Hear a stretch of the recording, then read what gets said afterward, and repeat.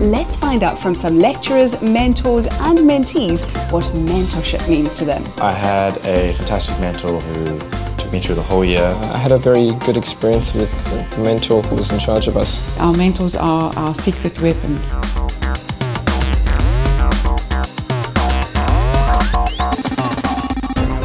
I'd like to share three core mentoring skills with you today. They work well with mentoring students, but will be useful to you beyond university, in the workplace as well.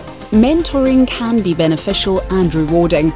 You can become more assertive and grow your skills in facilitation, networking, and conflict management. That sounds good.